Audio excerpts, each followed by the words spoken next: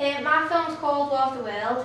It is about a fight about every country in the world and that everyone's going to war.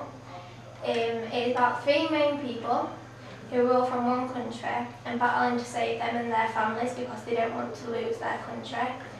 Um, it's going to be an action film and very adventurous. Uh, what is your unique point? My unique selling point is that most conventional films have one main character and then extras, whereas mine has three main characters and focuses on them three equally the entire time. What are your setbacks going to be?